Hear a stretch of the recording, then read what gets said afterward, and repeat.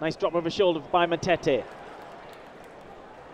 As soon as the Yes, isn't speed of play, though. yeah, it's Jermain Defoe coming off the line, and that's what I'm saying. He drops in there. First time we've seen it really, whether himself or Ross Stewart, just coming off that front line and dropping into the pocket to receive the ball. And as you said, ideal player. You know, you've got Embleton or Alex Pritchard really. Who, it's it's their game, isn't it? Receiving it in that space in between the, the defensive line and the midfield.